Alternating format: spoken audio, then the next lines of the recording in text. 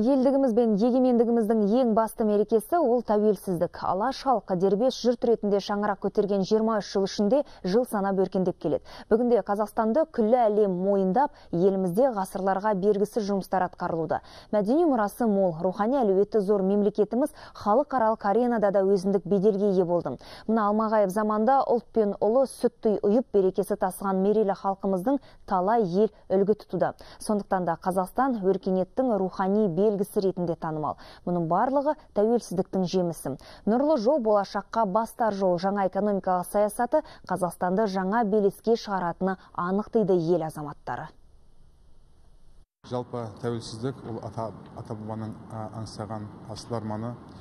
Келешекке қалдырылған үлкен асыл мұра. Кеше де елбасы тағы да тәуелсіздік күніне орай айтқан құттықтау сөзінде біздің мына қоғамымыз туралы осы қолдағы тәуелсіздік және оның келешегі әрбір азаматтарға байланысты екенін айтып өтті. Сол үшін қоғамның бірлігі қоғамның келешегі ауызбіршілік пен кепіл даму тек қана сол бағанағы біздің алдымыздағы қойылған мақсаттар мен жасалып отырған саясаттың жүзеге асуына өте маңызды ықпалы бар деп ойлаймын. На момент обретения независимости.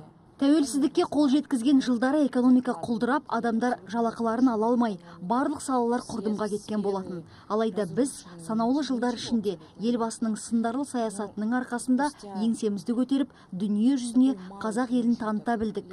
Бізде жүзден астам ұлт тату тәтті бейбітшілікте өмір сүруде. Бұл баға жетпес бақыт.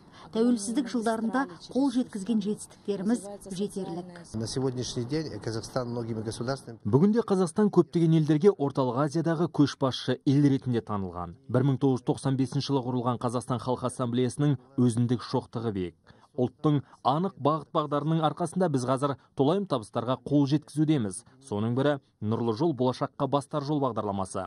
Елбасы нұрсұлтан назарбаевтың кезекті жолдауының өзі осыған дәлел. Санаулы жылдар ішінде қазақстанды адам танымастай етіп өзгерткен президенттің ерен еңбегіне ерекше алғыс айтқым келеді.